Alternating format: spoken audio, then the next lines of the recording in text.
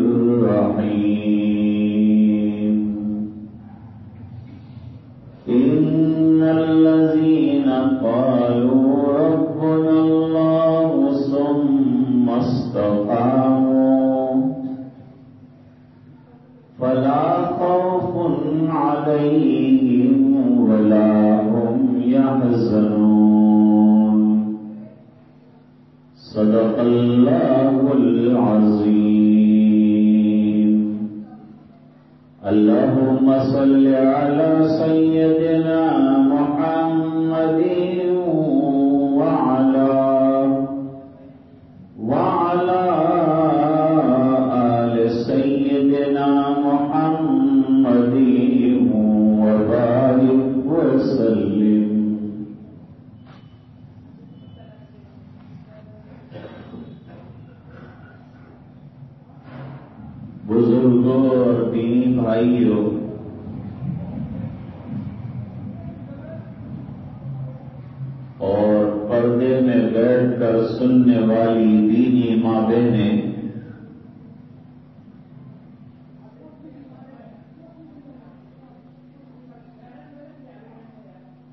اللہ تعالی نے ہمیں ایسا دین عطا فرمایا ہے کہ کسی زمانے میں بھی ہمیں پریشان ہونے کی ضرورت نہیں ہے۔ قیامت تک آنے والے جتنے حالات ہیں ان تمام میں ہماری کامیابی کا نسخہ کیا رہے گا؟ یہ اللہ تعالی نے اپنی کتاب میں بیان فرمایا۔ اور جناب رسول اللہ صلی اللہ علیہ وسلم نے اپنے عمل سے واضح کیا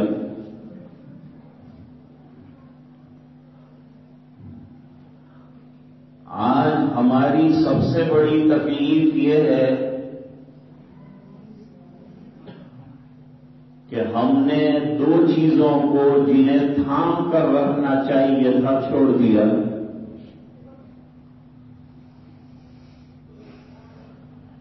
ایک تو پرانے کریم سے ہمارا رشتہ مضبوط ہونا چاہیے تھا، وہ کمزور ہو گیا۔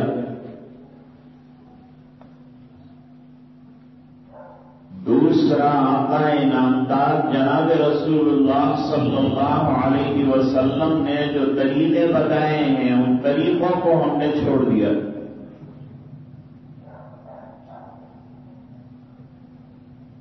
اگر کتاب اور سنت پر استقامت کے ساتھ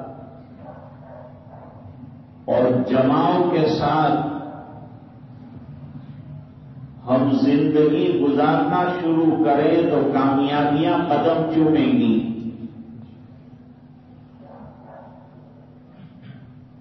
صحابہ کرام کو یہی بات حضور پاک صلی اللہ علیہ وسلم نے مکے کی تیرہ سالہ زندگی میں سمجھائی تھی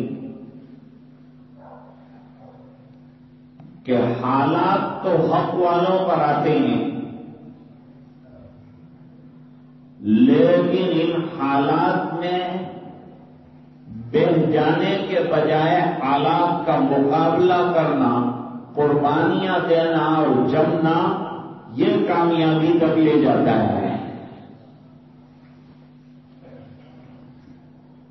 صحابہ کرام نے سرکار کے اشارے پر بہت بڑی بڑی قربانیاں دی اور دنیا کے سامنے کامیاب ہونے کے لیے قربانیوں کا کیسا قوام ہونا چاہیے، اس کا ایک نقشہ اور اس کا ایک نمونہ پیش فرمایا ہے۔ حضرت بلال رضی اللہ تعالیٰ وہ مار کھاتے ہیں، لیکن زبان سے اللہ اللہ کے علاوہ کوئی جملہ نہیں کہنا چاہتے۔ حضرت عمار ابن یاسر رضی اللہ تعالیٰ عنہ کو آگ سے دان دے کر پانی کے مشکیزے میں اتارا جاتا ہے اور بے ہوش ہو جاتے ہیں، لیکن اس کے باوجود حضور پاک صلی اللہ علیہ وسلم نے فرمایا کہ حضرت عمار کے اندر سر سے لے کر پیر تک ایمان بھرا ہوا ہے۔ وہ ایمان کے ایسے متوالے تھے۔ آج لوگ ڈر رہے ہیں کہ ہم ایمان پر رہیں گے تو کیسے زندگی گزاریں گے؟ حالانکہ کتاب و سنت سے معلوم ہوتا ہے کہ ایمان پر رہیں گے تو ہی کامیاب ہوں گے، استقامت پر رہیں گے تو ہی کامیاب ہوں گے۔ اور اگر یہ راستے کو چھوڑ دیا، کامیابی نہیں مل سکتی۔ بہت سے دنیا میں اسباب کے دھنی آئے اور انہوں نے اسباب سے فائدے بھی اٹھائے، لیکن وہ عارضی طور پر کامیاب ہو سکے۔ ہمیشہ کی کامیابی اللہ نے ایمان میں رکھی ہے، استقامت میں رکھی ہے، صبر میں رکھی ہے۔ اور اللہ نے اعلان کر دیا ہے۔ حسب الناس ان يتركوا ان يقولوا آمنا وهم لا يفتنون۔ لوگ یہ سمجھتے ہیں کہ خالی آمنا کہہ لیں گے تو اللہ تعالیٰ منظور فرما لیں گے اور جنت میں جگہ عطا فرما دیں گے۔ یہ بھی اللہ تعالیٰ کرنے پر قادر ہے کہ خالی کلمہ پڑھنے پر ہمیں جنت دے دیں اور دیں گے لیکن ایک بات کہی۔ وَلَقَدْ فَتَنَّ الَّذِينَ مِن قَبْلِهِمْ فَلَيَعْلَمَنَّ اللَّهُ الَّذِينَ صَدَقُوا وَلَيَعْلَمَنَّ الْكَاذِبِينَ۔ لیکن دنیا میں کچوں کا اور پکوں کا امتحان لیتا ہوں۔ اور امتحان میں کامیابی جن کے ملتی ہے، ان کی جنتیں سورتی ہوئی نظر آتی ہیں۔ اور دنیا کو معلوم ہو جاتا ہے کہ کون ایمان میں کچا ہے، کون پکا ہے۔ یہ پتا لوگوں کو چل جاتا ہے۔ حضرت فاروق اعظم رضی اللہ تعالیٰ عنہ کے زمانے میں مال غنیمت آیا فتوحات شروع ہو گئی۔ روم سے مال آیا۔ ایران سے مال آیا۔ حضرت عمر رضی اللہ تعالیٰ عنہ نے اس کے تقسیم کرنے کا اعلان کیا۔ صبح میں یہ مال تقسیم کر دیا جائے گا۔ تو نوجوان لوگ آ گئے۔ نماز کے بعد سرکار نے نظر ڈالی تو زیادہ طبقہ جوانوں کا تھا جو مال لینے کے لیے آیا تھا۔ حضرت عمر رضی اللہ تعالیٰ وہ چاہتے تھے کہ یہ آنے والے جوانوں کو مسلمانوں نے جو قربانیاں دی ہیں، ان کی تاریخ معلوم نہیں ہے، وہ معلوم ہو جائے۔ آج ہمیں ہماری تاریخ معلوم نہیں ہے۔ صحابہ نے کیا قربانیاں دی صحابیات نے کیا قربانیاں دی ہم کو نہیں معلوم۔ اور خود میرے نبی نے کیا قربانیاں دی ہمیں نہیں معلوم۔ ادبا اور عطیبہ یہ ابو لہب کے دو لڑکے تھے، جس سے حضور پاک صلی اللہ علیہ وسلم نے اپنی دو بیٹیوں کا رشتہ کیا تھا۔ حضرت رقیہ اور حضرت ام کلثوم ابو لہب کے اکسانے پر وہ لوگ آ کر رشتہ توڑ گئے اور اتبا نے تو سرکار کی چادر چاک کر ڈالی اور سرکار کے منہ پر تھوکا سرکار نے فرمایا، اللہ تعالیٰ تیرے اوپر اپنے کتوں میں سے ایک کتا مسلط کر دے۔ ایک سفر میں گیا تھا اتبا رات کے وقت جنگل کے اندر۔ آپلا ٹھہر گیا۔ اتبا کو بزرگ کی بدعا یاد آ گئی۔ وہ بہت اونچی جگہ چڑھ کر سویا۔ ہے کہ یہاں کوئی درندہ نہیں آ سکتا۔ رات کو ایک خون خار شیر آیا۔ اس نے سب کے منہ سونگے اور اس کے بعد وہ اونچی جگہ پر چھلانگ لگا کر پہنچا اور ادیبا کے ٹکڑے ٹکڑے کر ڈالے۔ میرے محبوب کی بدوا پوری ہو۔ بہت ستایا ہے میرے نبی صلی اللہ علیہ وسلم کو دین کے لیے۔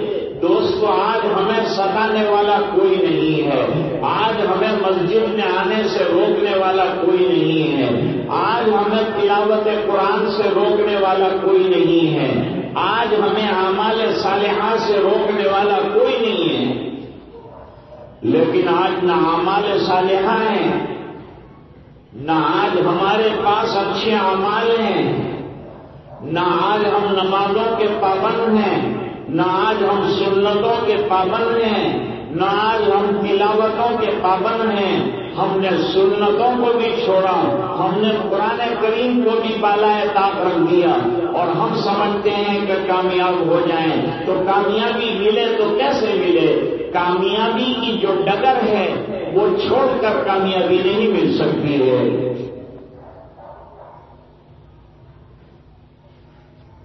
بیت اللہ شریف میں حضور پاک صلی اللہ علیہ وسلم نماز ادا فرما رہے ہیں۔ نماز عبادتوں میں عظیم ترین عبادت ہے۔ انسان کے اندر سے تکبر نکالنے کے لیے، چار کی محبت نکالنے کے لیے، اللہ کی بندگی کرنے کے لیے اور اللہ کا بندہ بن جانے کے لیے اگر کوئی عبادت ہے تو وہ نماز ہے نماز سے بندہ بندہ بنتا ہے نماز سے بندے کو اللہ کے رب ہونے کا خیال آتا ہے۔ نماز سے بندے کو اللہ سے مانگنے کا سلیقہ آتا ہے۔ نماز کے ذریعے سے آدمی کی روزی میں اضافہ ہوتا ہے۔ نمازوں کی پابندی کے ذریعے سے قبروں کو وسیع کیا جاتا ہے۔ نماز کی پابندی کی برکت سے حساب کتاب کو اللہ تعالیٰ آسان فرمانے والے ہیں۔ کتنے فائدے ہیں نماز میں؟ کوئی فائدہ نہ ہو تو یہ سب سے بڑا فائدہ ہے کہ میرے نبی کی آنکھوں کی ٹھنڈک نماز میں ہے۔ ہم ہمارے نبی کو اگر ٹھنڈک پہنچانا چاہتے ہیں تو ہمارے لیے ضروری ہے کہ ہم نمازوں کی پابندی کریں۔ صبح کی نماز میں حاضر ہوں اور سو فیصد نماز پڑھنے والے بن جائیں۔ ماں بہنیں گھروں کے اندر اذان ہوتے ہی مسلح بچھا دیں اور نماز کے لائق ہوں تو فوری طور پر نماز ادا کریں۔ سرکار مدینہ، جناب رسول اللہ صلی اللہ علیہ وسلم جب سجدے میں گئے تو اونج لا کر ڈالی گئی آپ کی گردن مبارک اٹھ سکتی تھی، لیکن آپ بہت زیادہ غمگین ہو گئے۔ اس وجہ سے سر سجدے سے نہیں اٹھایا۔ اٹھے تو نماز تو ختم ہو چکی تھی۔ ایک ایک کا نام لے کر بد دعا کی کہ تم نے میرے اور میرے پروردگار کے رابطے کے اندر بیچ میں جو ہے حجاب پیدا کر دیا، رکاوٹ پیدا کر دی۔ اللہ تمہیں برباد کر دے۔ حالانکہ سرکار کا دستور نہیں ہے کسی کو بد کرنا۔ آپ کا عالم تو یہ ہے کہ پریشان کرنے والوں کو سرکار نے دعائیں دی ہے اور کانٹے بچھانے والوں کے لیے سرکار نے مغفرت کی دعائیں کروائی ہیں اور ان کو مغفرت کے پھول ادا کیے ہیں۔ سرکار کی سیرت پاک پڑھنا بہت ضروری ہے ہمارے لیے۔ آج ہم کرکٹروں کی زندگیاں پڑھ رہے ہیں۔ آج ہم بمبئی کے ہیرو کی زندگیاں پڑھ رہے ہیں۔ اور نہیں پڑھ رہے ہیں تو میرے آقا کی زندگی نہیں پڑھتے اور نہیں پڑھتے تو صحابہ کرام کی زندگیاں نہیں پڑھتے۔ یہ پڑھو گے تو ایمان بنے گا۔ استقامت آئے گی۔ جب جاؤ گے۔ جس قوم میں استقامت اور صبر ہوتی ہے، اللہ تعالیٰ اس کو جمع دیتا ہے اور اس کے قدم کو کوئی اکھاڑ نہیں سکتا۔ ایک سجدے کے لیے سرکار نے اتنی تکلیف برداشت فرمائی ہے۔ آج ہمیں سجدے سے روکنے والا کوئی نہیں ہے تو سجدہ کرنے والا بھی مسجد میں کوئی نہیں ہے۔ آج نماز سے روکنے والا کوئی نہیں ہے تو ہماری مسجدیں خالی ہیں۔ آج ہمارا عالم یہ ہے کہ نماز سے پہلے کی سنت بھی ہم نہیں پڑھتے۔ نماز کے بعد کی سنتیں بھی چھوڑ کر چلے جاتے ہیں۔ جیسے کوئی اللہ پر عبادت کر کے احسان کر رہے ہوں۔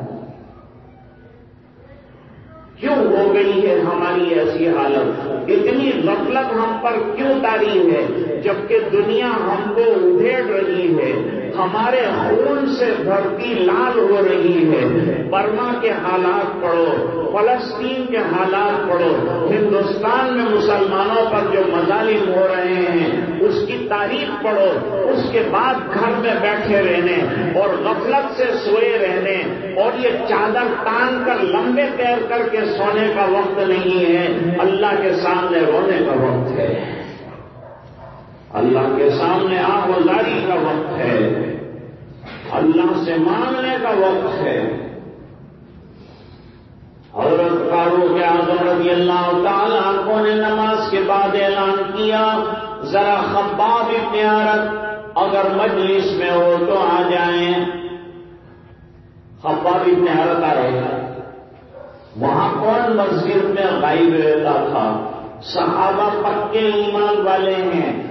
دو آدمیوں کے سہارے پر اگر مسجد میں آ سکتے ہیں تو گھر میں نماز نہیں پڑھتے۔ یہ صحابہ کرام کا عالم ہے۔ خباب ابن حرت رضی اللہ تعالیٰ ہو آگے آئے۔ کیا چاہتے ہیں امیر المومنین؟ فرمایا، تمہاری پشت جوانوں کی طرف کرو اور کمر سے تمہارے چادر ہٹاؤ اور دکھاؤ تمہاری کمر کا کیا حال ہے۔ ان کو پتا چلے۔ جب کمر سے چادر ہٹائی تو جوان رونے لگے۔ اور اتنی بھیانک کمر ہم نے کسی کی نہیں دیکھی۔ اتنا بھیانک منظر ہم نے کبھی نہیں دیکھا۔ حضرت آپ کو کیا ہوا تھا؟ اتنے کالے کالے گڑے اور پوری کمر سیاہ ہو گئی ہے، کیا بات ہے؟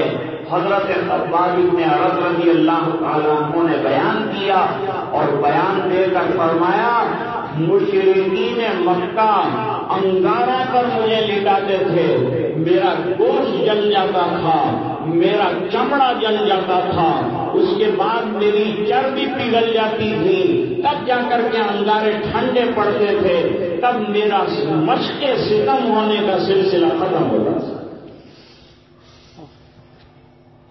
فاروق اعظم رضی اللہ تعالیٰ عنہ نے فرمایا، نوجوانوں، یہ سب قربانیوں کے نتیجے میں یہ مال نظر آ رہا ہے۔ تم نے انعام دیکھا ہے، لیکن تم نے امتحان کا زمانہ نہیں دیکھا۔ یہی خطبہ ابن عرب رضی اللہ تعالیٰ ہو مکے میں پریشانیوں سے تنگ آ کر ایک دن بیت اللہ میں تاجدار مدینہ جناب رسول اللہ صلی اللہ علیہ وسلم کی خدمت میں پہنچے۔ سرکار ٹیک لگا کر بیٹھے ہوئے ہیں بیت اللہ شریف میں دیوار سے۔ انہوں نے جا کر کہا، سرکار، کب تک ہم کو مشق ستم بنایا جائے گا؟ کب تک ہم پر ظلم کے بادل توڑے جائیں گے ایک عرصے دراز گزر گیا۔ کچھ کیجیے سرکار، اور کچھ کیجیے کا مطلب یہ ہے کہ ہم کو اجازت دیجیے، ہم مقابلہ کر لیں۔ کم سے کم ہمارا دفاع کر لیں، ہمارا ڈیفینس کر لیں۔ ہم حملہ نہیں کریں گے، لیکن بچاؤ کی تو اجازت دیجیے۔ اللہ تعالیٰ نے قرآن کریم میں فرمایا جب جنگ کی اجازت مانگ رہے تھے، جب مکی زندگی میں مقابلے کی اجازت مانگ رہے تھے دو دو ہاتھ کرنے کی اجازت مانگ رہے تھے، اللہ نے فرمایا، الم ترین نیل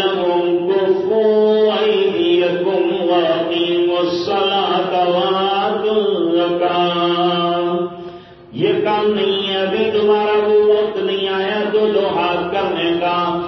ابھی برداشت کرنے کا وقت ہے۔ ابھی تمہارے صبر کا امتحان ہے۔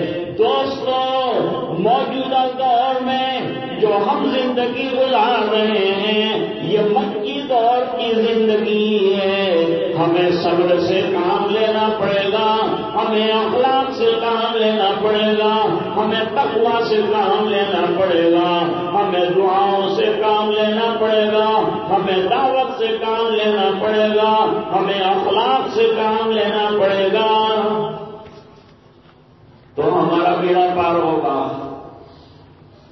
رہ گیا یہ تین قیامت تک کے لیے آیا ہے۔ جب تک دنیا میں کوئی اللہ اللہ کرنے والا ہے، یہ دین قائم رہے گا۔ حدیث پاک میں فرمایا، لا تقوم الساعة، قیامت قائم نہیں ہوگی۔ حتی لا يقال فی الارض اللہ اللہ۔ لیکن اس وقت قائم ہوگی جب دنیا میں اللہ اللہ کہنے والا ختم ہو جائے گا۔ معلوم ہوا، یہ دنیا کی بیٹری اللہ والے ہیں۔ وہ اللہ اللہ کرتے ہیں اور یہ دنیا چلتی ہے۔ بیٹری نظر نہیں آتی، اللہ والے بھی نظر نہیں آتے۔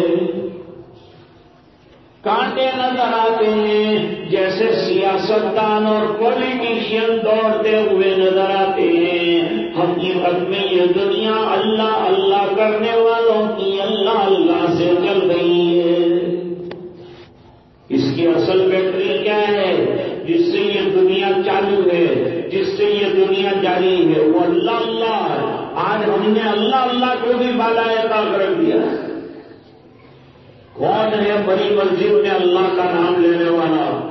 کون ہے نمازوں کے بعد اطمینان سے، سکون سے وظائف پڑھنے والا کون ہے لا الہ الا اللہ کا ذکر کرنے والا، سب جلدی سے جلدی بھاگنے کی کوشش میں رہتے ہیں، جبکہ پرانے کریم ذکر کثیر کو کہہ رہا ہے۔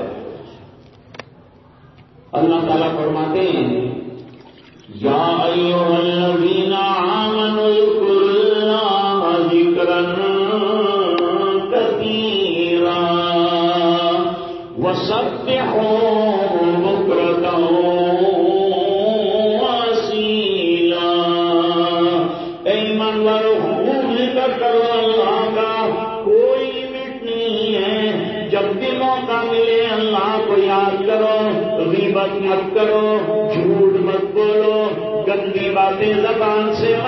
مت نکالو اللہ اللہ کرو نا۔ اور اللہ سے وزنی۔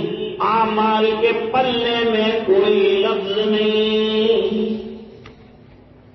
اس کو یاد رکھو۔ لفظ اللہ کے وزن سے بڑھ کر اور کلمے سے زیادہ وزنی کچھ نہیں۔ پھر دوسری چیز جو وزنی ہے، اللہ تعالیٰ کے یہاں میزان عمل میں وہ اخلاق عالیہ ہے۔ جو حضور پاک صلی اللہ علیہ وسلم ہم کو سکھلا کر گئے ہیں کہ وہ اعمال اور وہ اخلاق اپنے اندر پیدا کرو، دشمنوں کو اپنے اخلاق دکھاؤ، اپنا کردار دکھاؤ، تو یہ لوگ تمہارے ہو جائیں گے، تمہارے مت والے ہو جائیں گے، تمہارے ماننے والے ہو جائیں گے، تمہارا ساتھ دینے والے بن جائیں گے، دشمن تمہارے دوست بن جائیں گے۔ بڑی عظیم بات ہے۔ خباب ابن عرب رضی اللہ تعالیٰ نے کہاں سرکار اجازت دیجیے حضور پاک صلی اللہ علیہ وسلم نے فرمایا، بہت جلدی تھک گئے۔ خباب بہت جلدی تھک گئے ہو۔ تمہارے سامنے کیا امم مادیا کا حال نہیں ہے کہ ایک ایمان والے کو لایا جاتا تھا، اس کے سر پر آرا رکھ دیا جاتا تھا۔ دونوں طرف سے کاٹنا شروع کیا جاتا تھا۔ اور زبان کے دو ٹکڑے، کھوپڑی کے دو ٹکڑے، جسم کے دو لت ہو کر یوں گرتے تھے، لیکن اس کی زبان سے بجال ہے کہ لا الہ الا اللہ کے خلاف کوئی جملہ نکل جائے نبوت کے ساتویں سال میں نبوت کا ساتواں سال۔ تھا مکے والوں نے ظلم اور ستم کی جب انتہا کر دی تو انہوں نے مل کر مشورہ کیا۔ سرکار اپنا ایک مدرسہ چلا رہے تھے دار ارقم کے اندر۔ ہمارا دینی اور دعوتی پہلا مرکز کون سا ہے؟ دار ارقم ہے۔ دار ارقم میں حضور پاک صلی اللہ علیہ وسلم کے پاس حضرت حمزہ بھی بیٹھے ہیں اور اسی دار ارقم میں حضرت فاروق اعظم رضی اللہ تعالیٰ نے کلمہ پڑھا ہے۔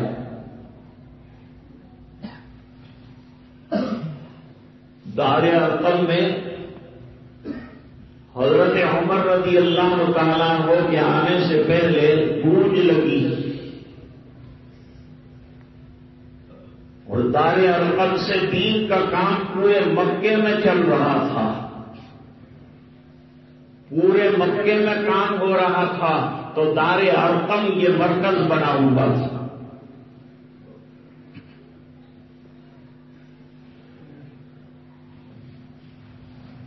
حضرت عمر رضی اللہ تعالیٰ عنہ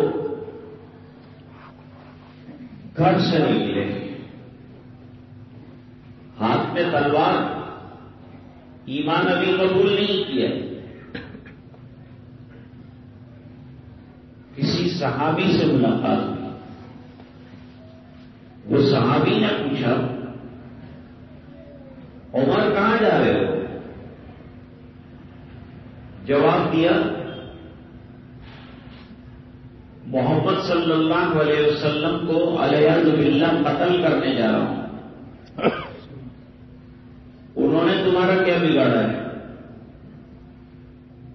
کہنے لگے ان کا کتنا گھر گھر میں پہنچ گیا، باپ بیٹے کے درمیان کا فرقہ ہو گیا، ماں بیٹی کے درمیان فرق ہو گیا، ایک ہنگامہ مچا ہوا ہے۔ کیا کتاب لے کے آئے ہیں؟ میں آج جا کر اس آواز کو ہمیشہ کے لیے خاموش کر دینا چاہتا ہوں۔ دشمن کتنی بھی سازشیں بنا دے دشمن ایمان کو مٹانے کے کتنے بھی پلان بنا لو۔ لیکن یہ دین کی حفاظت اللہ کر رہے ہیں اس بنا پر دشمنوں کی سب اسکیمیں چودہ سو سال کے اندر فیل ہوتی رہی اور آئندہ بھی فیل ہوتی رہی میں رہوں گا دین پر تو میری حفاظت ہے۔ آپ رہیں گے دین پر آپ کی حفاظت ہے۔ آپ کی نسلیں دین پر رہے گی ان کی حفاظت ہے۔ لیکن اگر ہم دین سے ہٹ جاتے ہیں تو اللہ ہمارے محتاج نہیں ہے۔ وہ نئی قومیں پیدا کر کے ان سے کام لیں گے۔ اللہ تعالیٰ قرآن میں فرماتے ہیں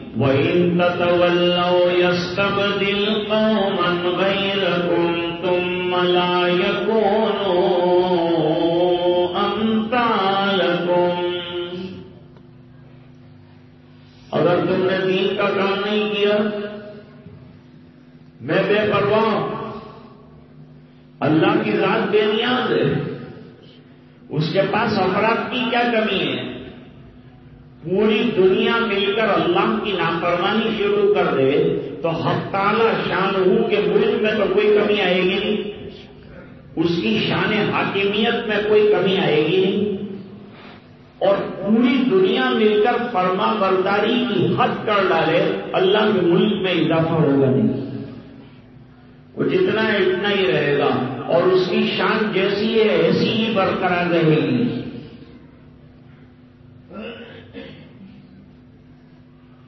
یہ دین باقی رہنے کے لیے ہے۔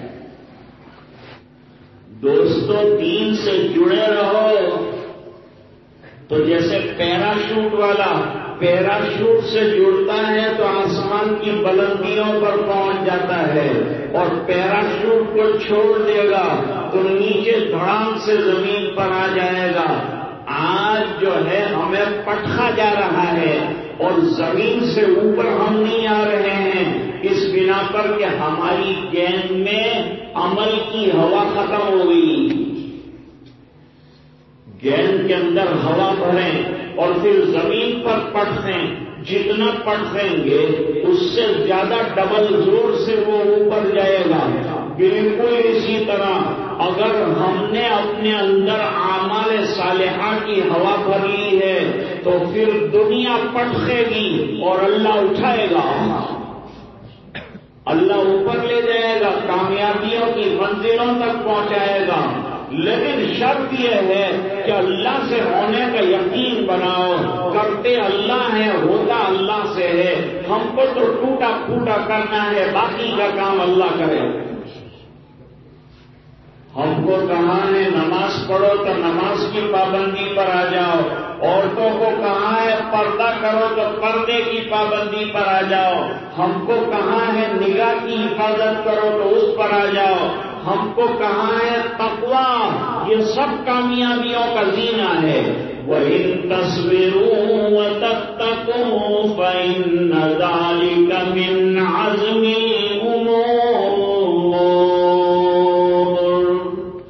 دو چیزیں ہمیشہ ساتھ رہی ہیں۔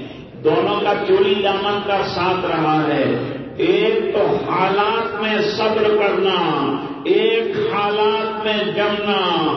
دوسرا، اللہ کا ڈر ہمیشہ اپنی زندگیوں میں رکھنا۔ یہ کامیابی کی کلید ہے، یہ کامیابی کی کنجیاں ہیں۔ یہ مفاقی الخیر ہیں۔ حضرت عمر رضی اللہ تعالیٰ عنہ کا رخ بدل گیا۔ چلتے چلتے اچانک حضور کے گھر کی طرف جانے کے بجائے وہ صحابی نے کہا، تمہارے بہن اور بہنوئی نے بھی دین قبول کر لیا ہے، جا کر وہاں خبر لو پہلے، پھر حضور کے پاس جانا۔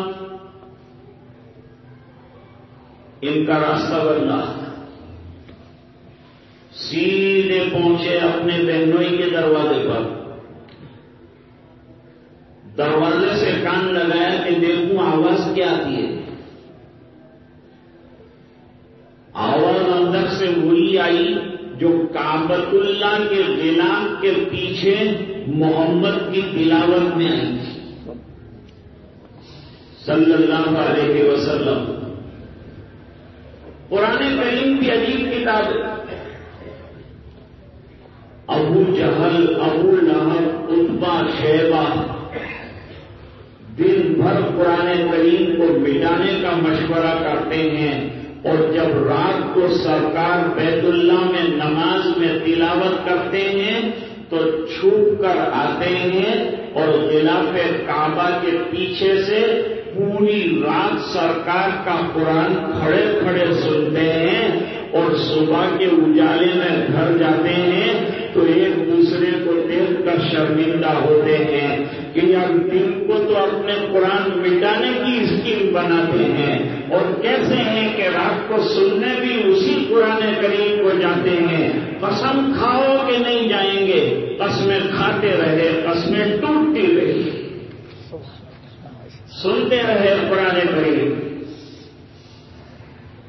فاروق اعظم رضی اللہ تعالیٰ نے بھی کابت اللہ کے خلاف کے پیچھے سرکار کا قرآن سنائے۔ ارے، آپ جانتے ہیں، معمولی تاری جب قرآن پڑھتا ہے تو دل ہل جاتا ہے۔ تو جس پر قرآن کریم اترا ہوگا، جب وہ پڑھتے ہوں گے تو دلوں کا کیا حال ہوگا؟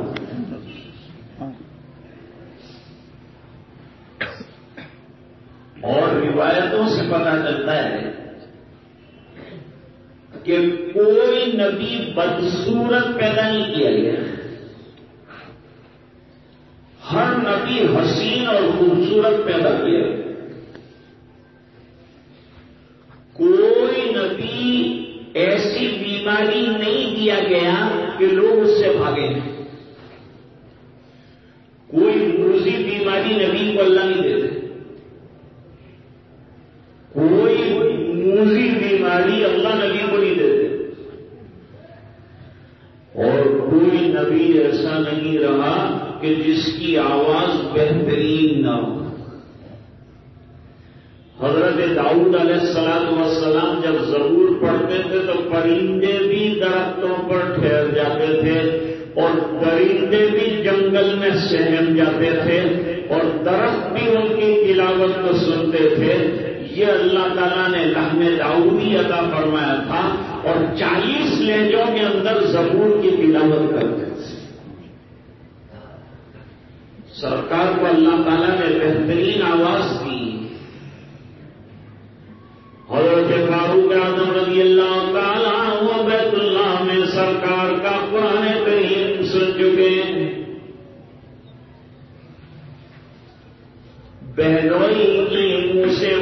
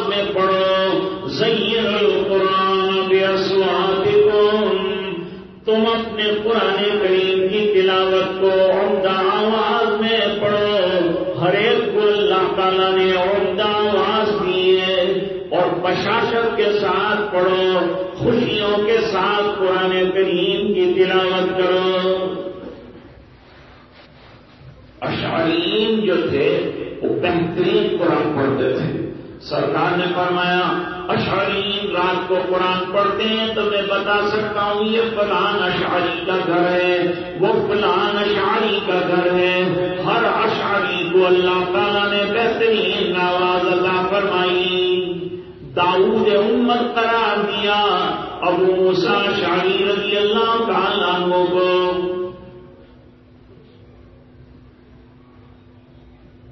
اب دروازہ کھٹکھٹایا وہ زمانہ قرآن کی نشر و اشاعت کا نہیں تھا چھپانے کا آج قرآن کریم کی نشر و اشاعت کا زمانہ ہے تو ہم چھپاتے پھر رہے ہیں۔ اور وہ زمانے میں چھپانے کے لیے کہا تھا تو ابوذر غفاری نے کابت اللہ کے اندر اپنے کلبے کا اعلان کر کے تین دن مارے کھا کھا کر بے ہوش ہونا پسند کیا، لیکن کلبے کا چھپانا پسند نہیں وہ چاہتے تھے کہ جب اللہ نے حق کیا ہے تو یہ کلمے کا اعلان ہونا چاہیے۔ یہ کلمے کی نشر و اشاعت ہونی چاہیے۔ ان کی میٹنگ بیٹھی ہوئی تھی۔ وہاں ابو الغفاری چلے گئے۔ انہوں نے کہا اشد اللہ وہ اشد محمد سب نے مل کر مارنا شروع کیا۔ پیٹنا شروع کیا، پورا جسم سوج گیا، بے ہوش ہو گئے۔ مشکل سے کسی نے ان کو چھوڑایا چھوٹ گئے لیکن ہوش میں آنے کے بعد دل کے اندر کے ایمان کو ٹٹولا، معلوم کیا۔ مار کھانے کے بعد حالات آنے کے بعد ایمان چلا گیا ہے کہ جم گیا ہے۔ اللہ کا شکر ادا کر کے کہنے لگے، الحمدللہ مار کھانے کے بعد دین جو ہے وہ دل سے نکلا نہیں، بلکہ اور بھی زیادہ قوی ہو گیا، اور بھی زیادہ مضبوط ہو گیا۔ حدیث شریف میں کابل نے مالک رضی اللہ تعالیٰ عنہ کا واقعہ نقل کیا ہے۔ کابل نے مالک رضی اللہ تعالیٰ عنہ وہ جلیل القدر صحابی ہیں جو بیان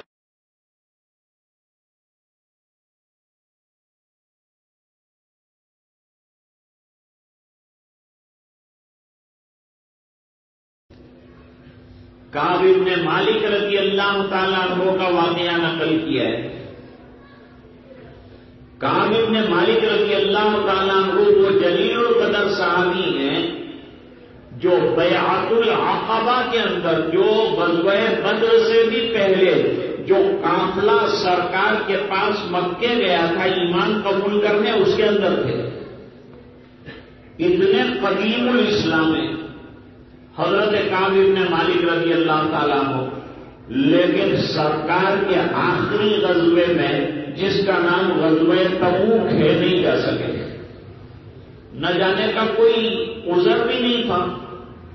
لیکن یہ سوچا کہ ابھی تو حضور نکلے ہیں، میرے پاس تیز سواری ہے دوپہر کو پہنچ جاؤں گا۔ جیسے کہ فجر میں اذان ہوتی ہے، ہم الارم بند کر دیتے ہیں۔ ابھی تو بہت دیر ہے، ابھی تو پندرہ منٹ ہے۔ ابھی ذرا پانچ منٹ سو لیتا ہوں پانچ منٹ سوتا ہے پھر آنکھ کھلتی ہے۔ ابھی تو دس منٹ ہے، پانچ منٹ اور سو لیتا ہوں۔ پھر جو آنکھ لگتی ہے تو سیدھی تک جب روشن ہوتا ہے، جب کھلتی یہ پہلی مرتبہ جب الارم بجا، اسی وقت چوکنا ہو کے اٹھ گیا ہوتا اور وضو کی چھالکیں چہرے کے اوپر ماری ہوتی تو شیطان کا پھندا چھوٹ گیا ہوتا اور جب اللہ اکبر کہتا تو شیطان بھاگ گیا ہوتا۔ کہ میرے اوپر تیرا بس نہیں چل سکتا۔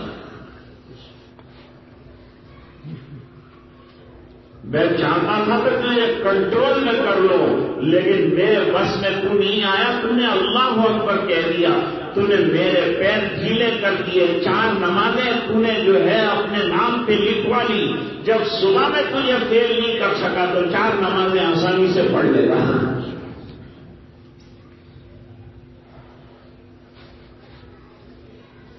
اب حضرت عمر رضی اللہ تعالیٰ عنہ گھر میں داخل ہو گئے۔ کافی نے مالک رضی اللہ تعالیٰ کو غزبے میں نہیں گئے۔ سرکار جب واپس آئے تو سوچا کہ اب کیا کروں گا؟ بہت سے منافق جھوٹے جھوٹے ازر کر کے چھوٹ گئے۔ میں کیا کروں؟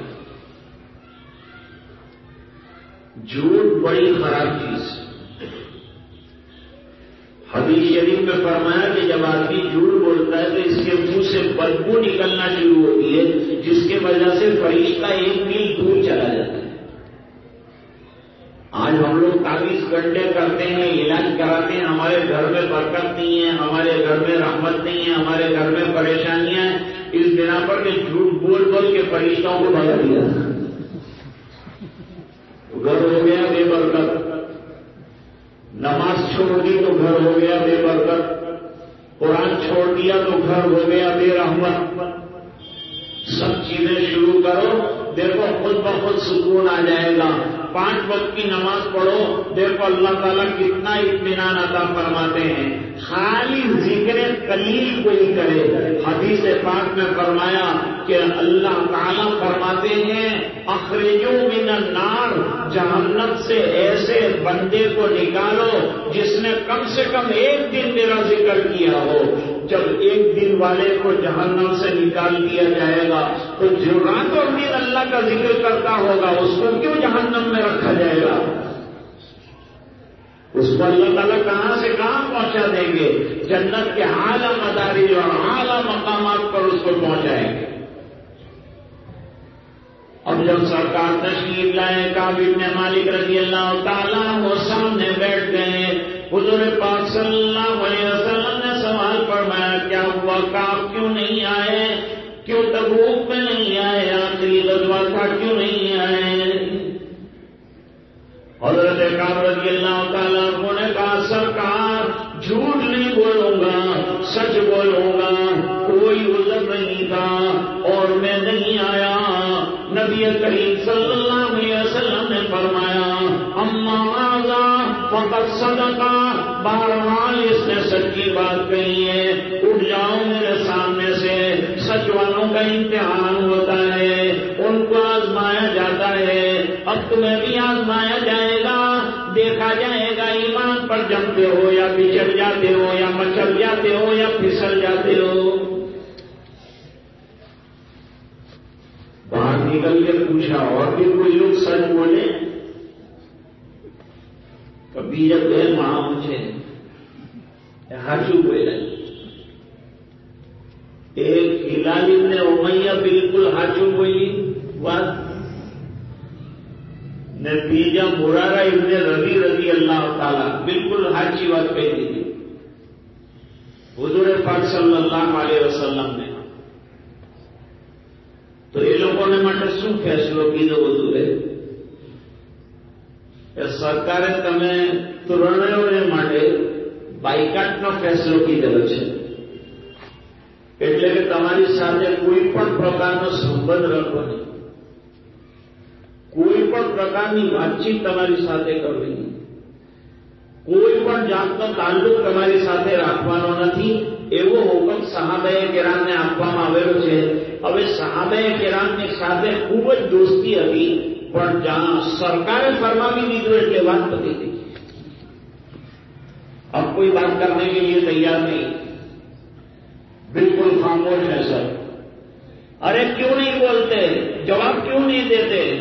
چپ۔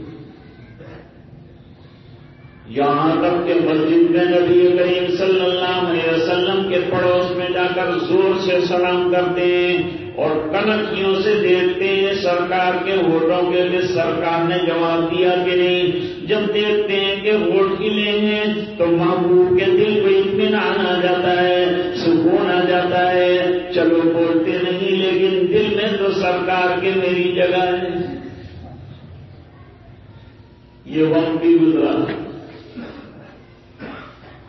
کتنے میں غسان یہ جو مدینہ منورہ کی جو باؤنڈریاں ہیں، اس کے باہر ایک ملک تھا غسان وہاں کا بادشاہ جو ہے، مسلمانوں پر حملہ کرنے کے بارے میں سوچ رہا تھا۔ وہاں سے لیٹر بادشاہ نے اسپیشل لیٹر بھیجا اور آدمی بھی بھیجا۔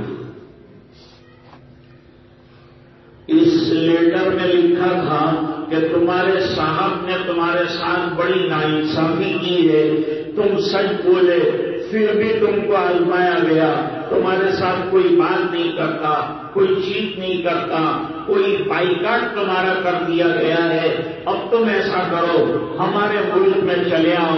ہم تم کو مال بھی دیں گے، ہم تم کو عزتیں بھی دیں گے، ہم تم کو دولتیں بھی دیں گے، ہم تم کو کرسی بھی دیں گے، ہم تم کو بہترین رہنے کا مکان بھی دیں گے۔ تم کو کوئی پرابلم نہیں ہوگا۔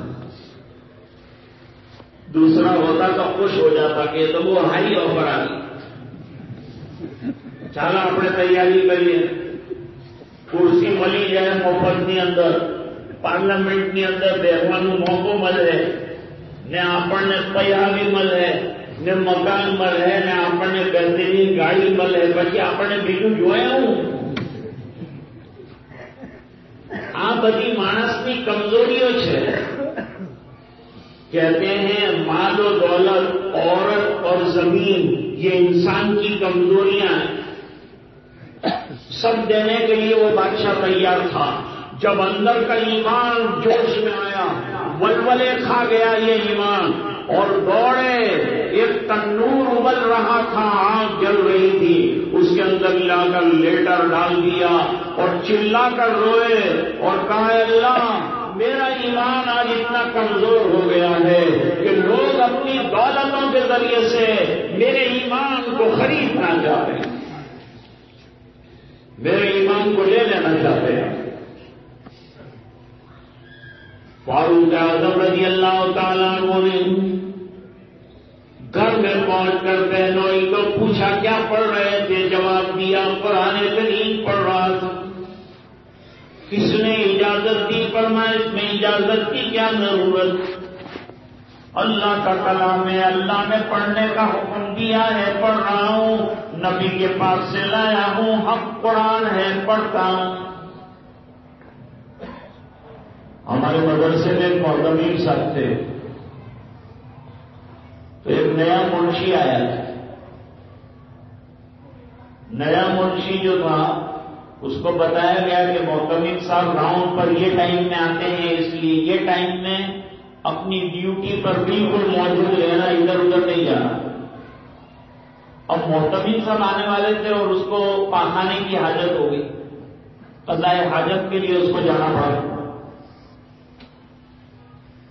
لوگوں نے بہت کہا کہ ہمارا محتمین صاحب آؤ ہے کانٹے بنے پچھی ججے ہمارا تقاضو دینے پچھی ججے کی بھی بات کرتا ہوں ہمارا دینے کے پچھی جب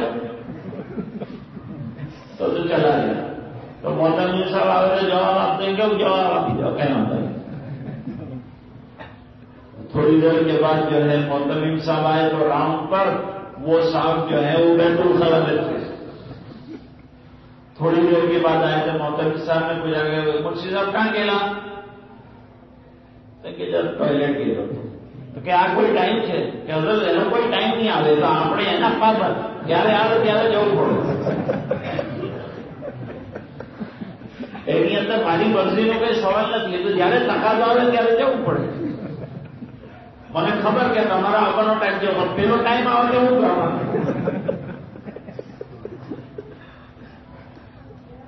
بس پڑے گیا ہم تو خوراک نہیں بھائی پڑے گے تو ماؤ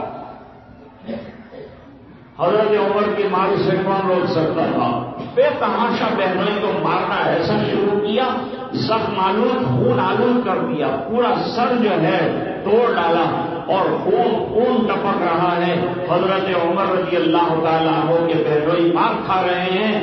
بہن بیچاری کب تک دیکھتی بیوی ہے؟ بیوی سے برداشت نہیں ہوتا، شوہر کو اتنا پریشان کیا جائے تو وفادار بیوی کاہے کی برداشت کرتی؟ اس میں پر بھی بیچ میں آ گئی، فاطمہ بنت خطاب بیچ میں آ گئی۔ اور انہوں نے آ کر کہا، مارنا ہو تو مجھے مارو، کتنا مارنا ہے مار لینا۔ تم میرا خون نکال دو، میری جان نکال دو، لیکن خدا کی قسم میرا قرآن اور میرا ایمان نہیں نکال سکو گے۔ اس کو کیا کہتے ہیں؟ اس کو استقامت کہتے ہیں، اس کو صبر کہتے ہیں، اس کو دین پر جمنا کہتے ہیں۔ آج ہمیں مارا بھی جا رہا ہے، ہم پر ظلم بھی کیا جا رہا ہے۔ لیکن بتا دو لوگوں کو کہ ہم ایمان کسی بھی قیمت کے اوپر چھوڑنے والے نہیں ہیں۔ چاہے ہمارے بچوں کو ہمارے سامنے ذبح کر دیا جائے، چاہے ہمیں ٹکڑے کر دیا جائے، لیکن ہم ایمان چھوڑ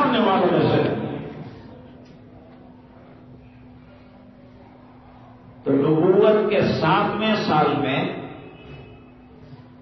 مکے والوں نے فیصلہ کیا، بنو ہاشم، بنو عبد المطلیب اور ایک اور خاندان۔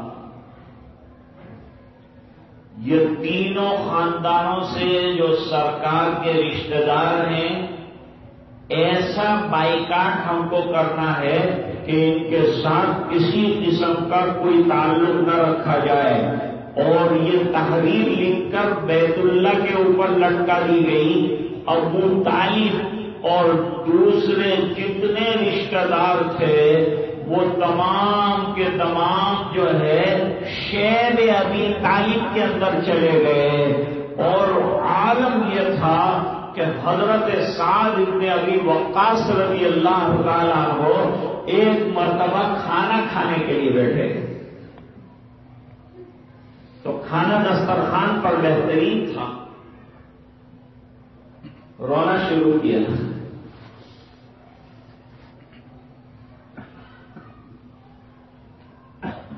کھانا کھاتے ہوئے رو رہے۔ ہیں لوگوں کو تعجب ہوا کہ کس بات پر رو رہے، اتنا اچھا کھانا ہے، اتنا بہترین کھانا ہے۔ فرمایا، مجھے شہر ابھی تعلیم کا زمانہ یاد آ گیا۔ جب وہ غار کے اندر ہم لوگ تھے، تو چپڑے کے ٹکڑے چبانے پڑے۔ تھے کھانا ختم ہو گیا تھا، تو چمڑے کے ٹکڑے چبانے پڑے۔ چھوٹے چھوٹے بچوں کے رونے کی آواز مکے کی گلیوں کے اندر گونجتی تھی، لیکن مکے والوں کو رام نہیں آتا تھا۔ ظلم کا یہ عالم تھا، آزمائش کا یہ عالم تھا، امتحان کا یہ عالم تھا۔ ابن ابھی وقاص کہتے ہیں، درخت کی شاخیں اور درخت کے پتے کھاتے کھاتے ہماری بانچیں پھٹ گئی۔ خون نکلنے لگا، رسنے لگا۔ اور یہ عرصہ کوئی ایک دن اور دو دن کا کھیل نہیں تھا۔ یہ تین سال تک ستم جو ہے چلتا رہا، ظلم جو ہے ہوتا رہا۔ کوئی کھانے کی چیز غار کے اندر آتی نہیں تھی۔ لوگ پتلے دبلے ہو گئے تھے۔ جسم بالکل مریل ہو گئے تھے۔ کمزوری اور ذوق انتہائی طور پر آ چکا تھا۔ لیکن ایمان والوں کے ایمان کو سلام کرنا پڑے گا۔ تین سال میں کبھی انہوں نے ہتھیار ڈال کر یوں نہیں کہا، ہم سلا کرتے ہیں، ہمیں کھانا دے دیجیے انہوں نے کہا، مار ڈالو شہر ابھی تعلیم میں، لیکن ہمارا ایمان نہیں لے سکو گے۔ اس کو آج ایسے ایمان کی ضرورت ہے اور ایسا ایمان بنے گا امان صالحہ کے ذریعے سے، ایسا ایمان بنے گا تلاوت کے ذریعے سے، ایسا ایمان بنے گا ہمارے مشاعر اور بزرگوں کے واقعات سننے کے ذریعے سے۔ شیخ الہند محفوظ الحسن صاحب رحمت اللہ علیہ کا جنازہ کلکتہ کے اندر لایا گیا۔ جب کپڑے اتارے غسل دینے کے لیے، تو جسم کے اوپر داغ نظر آئے۔ حضرت مدنی رحمت اللہ علیہ کو پوچھا کہ یہ داغ کیسے ہیں؟ کہاں انگریزوں نے اپنی بات کہلوانے کے لیے داغ لگائے۔ انہوں نے کہا، میرا پورا جسم چلا ڈالو، لیکن یہ میں برداشت نہیں کر سکتا کہ تم اس ملک میں رہو۔ تم کو یہاں سے جانا ہے اور میں اس کے لیے آخری دم تک لڑوں گا۔ دوستوں قربانیوں سے بات آگے بڑھتی ہے۔ قربانیوں سے دین بنتا ہے۔ قربانیوں سے دین چمکتا ہے۔ قربانیوں سے اندر کی مایا بنتی ہے۔ قربانیوں سے ایمان بنتا ہے۔ تین سال کے بعد حضور پاک صلی اللہ علیہ وسلم نے ابو طالب سے کہا کہ چچا جان وہ جو تحریر لکھی گئی تھی نا بیت اللہ میں، اس کو دیمک چاٹ چکی ہے، ختم کر چکی ہے۔ اور انہوں نے لکھا تھا کہ جب تک تحریر رہے گی، تب تک یہ بائی کاٹ کا سلسلہ رہے گا۔ تحریر جا کے دیکھی تو بالکل دیمک نے چاٹ کے صاف کر دیے۔ خالی ایک لفظ اللہ باقی رہ گیا۔ باقی پوری تحریر ختم ہو گئی تھی۔ حضور پاک صلی اللہ علیہ وسلم کو چھٹکارا ملا۔ شہد ابھی طالب سے باہر نکل کر آئے۔ حضرت خدیجہ رضی اللہ تعالیٰ جو بہترین سہارا تھی، وہ چلی گئی تھوڑے عرصے کے بعد ابو طالب چلے گئے۔ لیکن دین زندہ رہا۔ اللہ نے بتایا، تم نہیں کرو گے، کوئی نہیں کرے گا، سب سہارے ہٹ جائیں گے. یہ دین چلتا رہے گا، یہ دین مٹنے کے لیے نہیں آیا، یہ دین ہمیشہ کے لیے آیا۔ حدیث شریف میں اور قرآن شریف میں ایک ایمان والی خاتون کا تذکرہ کیا ہے، اس کا نام آسیہ ہے۔ حضور پاک صلی اللہ علیہ وسلم نے فرمایا، چار عورتیں دنیا میں بڑے کمال کی رہی ہیں، مردوں میں تو کمال کے بڑے لوگ رہے ہیں، لیکن عورتوں میں کمال والی بڑی عورتیں رہی ہیں، ان میں ایک حضرت عائشہ رضی اللہ تعالیٰ عنہ بھی ہیں، ایک حضرت مریم بھی ہیں، اور ایک حضرت آسیہ بھی ہیں۔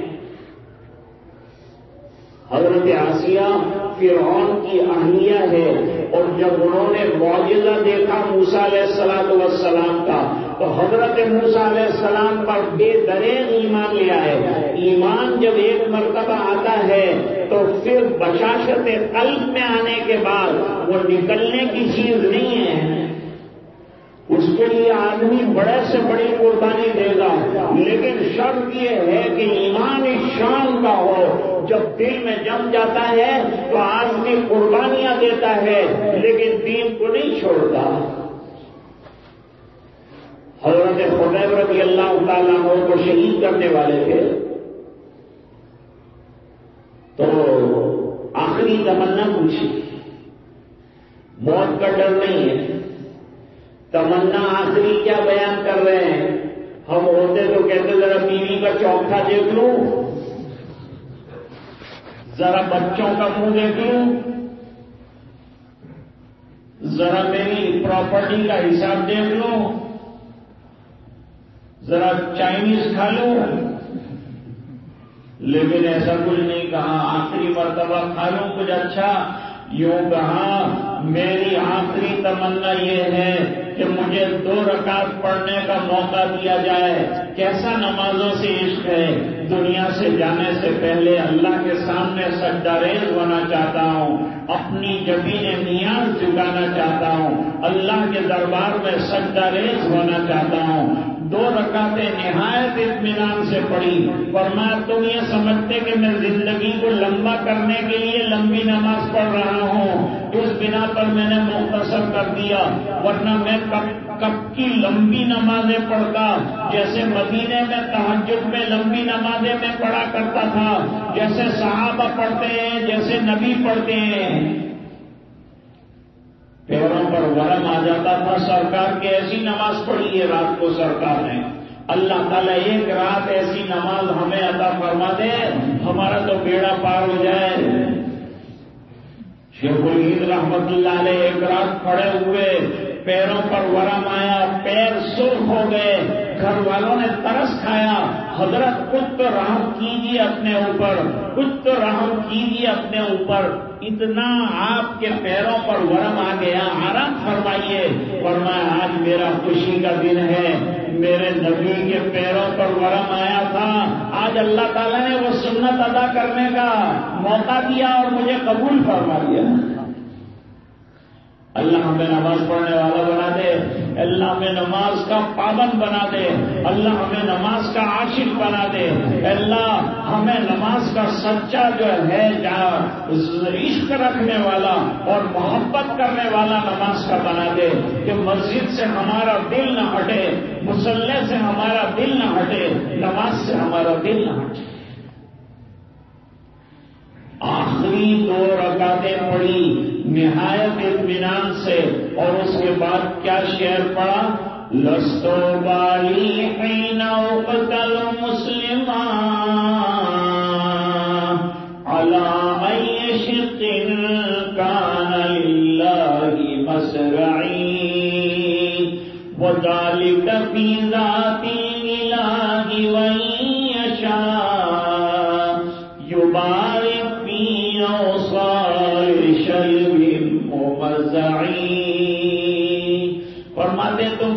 کروٹ پر مجھے لٹاتے ہو اور میرے کتنے ٹکڑے کر ڈالتے ہو؟ مجھے کوئی پرواہ نہیں ہے اس کی۔ اس بنا پر میں اگر مسلمان دنیا سے جاتا ہوں، اللہ کے رجسٹر میں مجھے ایمان والا لکھا جاتا ہے، تو میں قتل ہوتا جاؤں گا، میرے ٹکڑے ہوتے جائیں گے اور میرے جسم کے ٹکڑوں میں اللہ برکتیں ڈالتے جائیں گے۔ آسیا کو بلایا فرون نے۔ سنا ہے کہ تم نے ایمان قبول کیا کافی قبول کر لیا ہے، ایمان قبول، حق مل گیا۔ پھر قبول کرنے میں کیا دریغ ہے؟ کتنی بہادری آ گئی۔ ادھر حضرت فاطمہ بنت خطاب میں کتنی بہادری آئی تھی کہ مار پڑ رہی اور کہہ رہی، اور مار، عمر، اور مار، جتنا مارنا ہو مار لے۔ خدا کی قسم، تو میرا ایمان چھین نہیں سکتا۔ ارے بہن، تیرے اندر اتنی بہادری کیسے آ گئی؟ جب ایمان آتا ہے تو بہادری آ جاتی ہے۔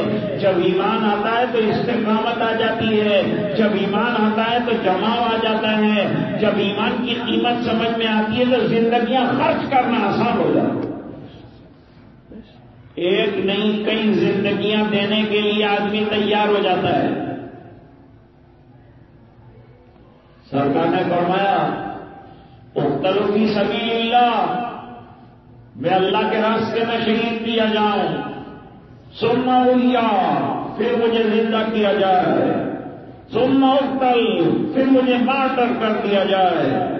سننا کل پھر مجھے شہید کیا جائے۔ سننا ہوں یا سننا کل۔ بار بار تیرے راستے میں جان لی جائے اور بار بار تیرے دربار میں حاضر ہو جاؤں۔ بار بار زندگی ملے۔ بار بار تجھ پر قربان کروں۔ ایمان جب حقیقت بن کے آتا ہے تو جان کا دینا آسان ہو جاتا ہے۔ قربانیاں دینا آسان ہو جاتا ہے۔ اور جو چاند دینے تک کے لیے تیار ہو جائے گا، اس کے لیے نماز میں آنا کیا مشکل ہے؟ اس کے لیے تلاوت کرنا کیا مشکل ہے؟ اس کے لیے استقامت کیا مشکل ہے؟ اس کے لیے ذکر اللہ کیا مشکل ہے؟ اس کے لیے اللہ اللہ کرنا کیا مشکل ہے؟ اس کے لیے ثابت قدم لینا کیا مشکل ہے؟ اس کے لیے تقوی کیا مشکل ہے؟ اس کے لیے صبر کیا مشکل ہے؟ اس کے لیے دین کی دعوت کیا مشکل ہے؟ وہ تو ہر قدم پہ دین کی دعوت دے گا۔ وہ تو ہر قدم پہ اللہ کے دین کی طرف بلانے والا بنے گا۔ وہ تو ہر قدم پر اس کے عمل سے ظاہر کرے گا کہ میری دین کی دعوت ہے۔ اب نتیجہ یہ ہوا کہ آسی آ گئی سدا تجویز ہوئی کہ تمہارا لباس اتار لیا جائے گا۔ آسیا نے ہاتھ جوڑ کر کہا بادشاہ سلامت آپ میرے شوہر ہیں، آپ کے سامنے میرا لباس اترے کوئی بات نہیں، لیکن یہ اخیار ہیں، ان کے سامنے میں اپنے ایک بال بھی نظر آئے، یہ پسند نہیں کرتی، اس سے پہلے مجھے مار ڈالو۔ مجھے ختم کر ڈالو، لیکن ایسی بے حیائی کا مظاہرہ مت کرو، سزا دینا ہے دے دو، لیکن ایسا معاملہ مت کرو کہ لباس جو ہے پارلیمنٹ کے اندر آپ اتارنے کی بات کرتے ہیں، مجھے رویان کرنے کی بات کرتے ہیں۔ عورت تو حیا کی پیکر ہے، عورت تو حیا کی پتلی ہے، عورت کے لیے اس کا لباس جو ہے ساتر ہے، عورت کے لیے اس کا برقع، اس کی عزت اور اس کا ناموس ہے۔ اس کی حفاظت کا بہترین سامان ہے۔ قرآن کریم نے پردے کا خاص حکم فرمایا، ماں بہنوں کو خاص حکم کیا، ازواج متحرات کو خاص حکم دیا بنا کے اربا کو خاص حکم دیا فرمایا ایو النبیو کل ازواجی کا و بناتی کا و نسائی مومنین، یدنین علیہن من کا حکم آیا۔ پہلے سرکار کے گھر میں آیا، پہلے رسول اللہ کے گھر میں آیا، پہلے ازواج متمرات کے پاس آیا، پہلے بیٹیوں کے پاس سرکار کی آیا۔ تاکہ دنیا کے لوگ یوں نہ کہہ سکیں کہ ہمارے لیے بڑے بڑے قانون بناتے ہیں اور خود قانون سے بالکل مستثنا ہیں اور الگ ہیں۔ خود جو چاہیں کرنا چاہیں کر لیں اور ہمارے لیے قانون بناتے ہیں۔ سرکار نے قانون پہلے گھر کے اندر نافذ فرمایا ہے۔ اس کے بعد دنیا کے اندر قانون کو نافذ فرمایا۔ پھر کیا کرو گے؟ کہا، اس کے بعد تجھے زمین پر لٹا کر تیرے ہاتھ پیر میں بیٹے گاڑ دوں گا۔ پھر اس کے بعد تیرے اوپر سانپ اور بچھو چھوڑ دوں گا۔ وہ تجھے ڈستے رہیں گے اور جب تو قریب مرگ ہو جائے گی تو میں تیرے اوپر گھوڑا چھوڑ دوں گا، ہاتھی چھوڑ دوں گا، اونٹ چھوڑ دوں گا۔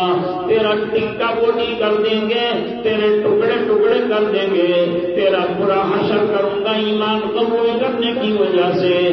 تو آسیا نے دعا کی، اے العالمین، ایسے حالات سے دو چار ہو جاؤں پھسل جاؤں اس سے پہلے پہلے میری جان لے لیجیے نا۔ اور مجھے جنت میں جو محلات کا وعدہ ایمان والوں کو کیا ہے، وعدہ کروا دیجیے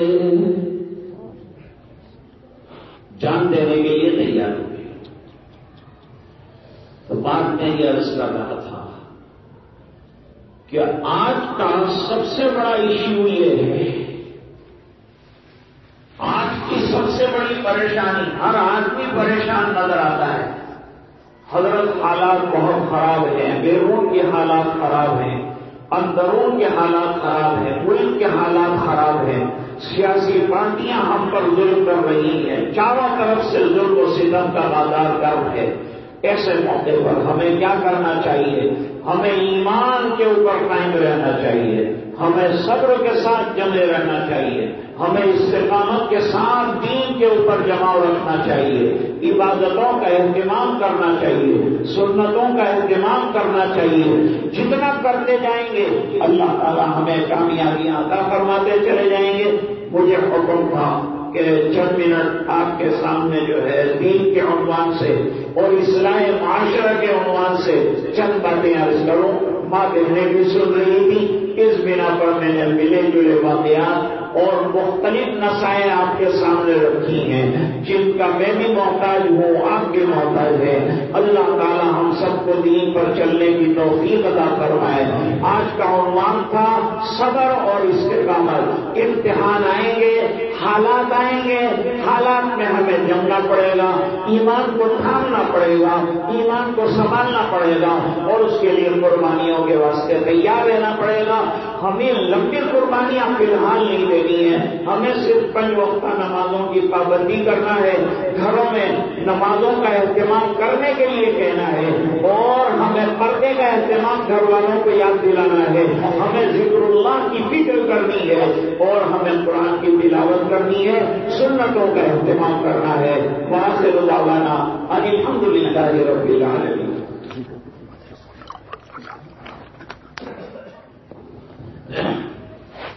اب ذکر کی مجلس ہوگی اس کے بعد دعا ہوگی۔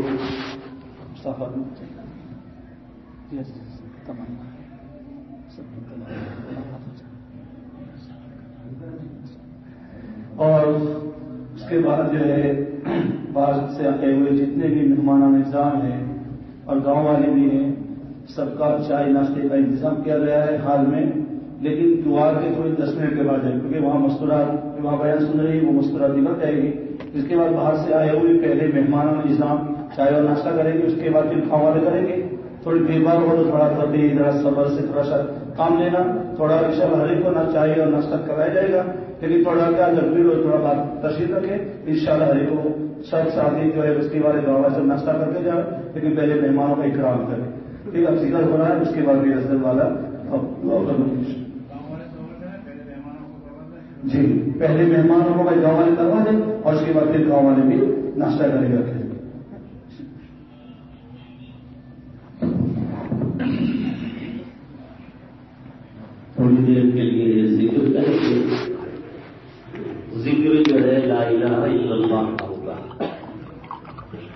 بھی میرے ساتھ ذکر کے اندر انشاءاللہ شامل ہوں گے۔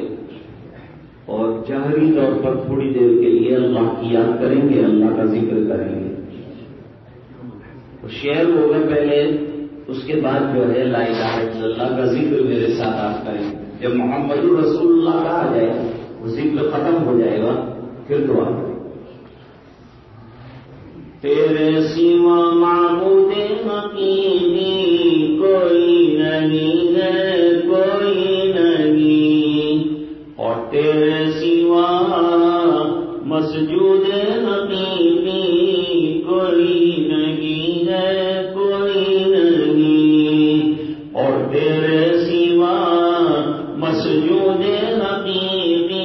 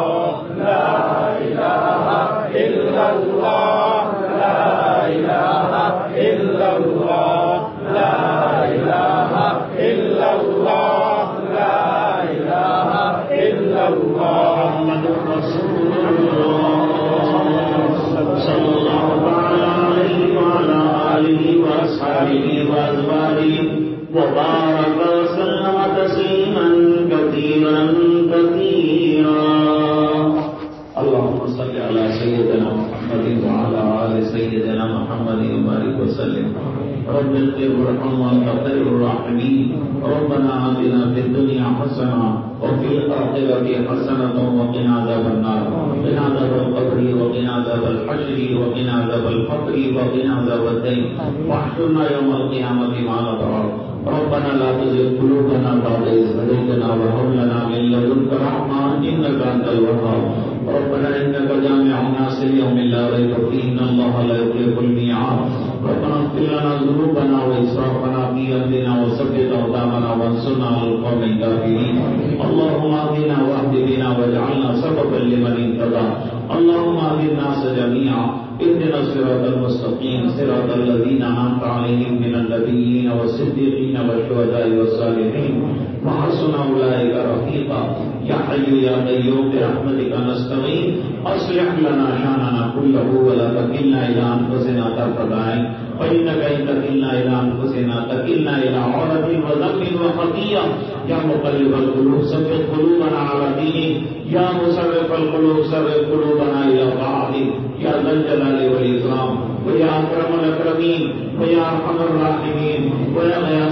المستغیثین و یا اکرم الاکرمین و یا ارحم الراحمین، اے اللہ ہمارے گناہوں کو معاف فرما۔ خدائیوں سے درگزر فرما۔ اپنا فضل اور کرم شامل حال فرما۔ اے اللہ چاروں طرف سے ظلم و ستم کا بازار درد ہے۔ تو اپنے فضل سے مسلمانوں کی مدد فرما۔ مسلمانوں میں عالم کی مدد فرما۔ اے اللہ ہم کو دین پر جمع دے۔ اے اللہ ثابت قدمی نصیب فرما دے۔ اے اللہ استقامت ادا فرما۔ اللہ صبر کے ساتھ دین پر جمنے والا بنا دے۔ اللہ نمازوں کا پابند بنا دے۔ اللہ تلاوت قرآن کا شہدائی بنا دے۔ اللہ ہمارے بچوں کو دین کی توفیق ادا فرما دے۔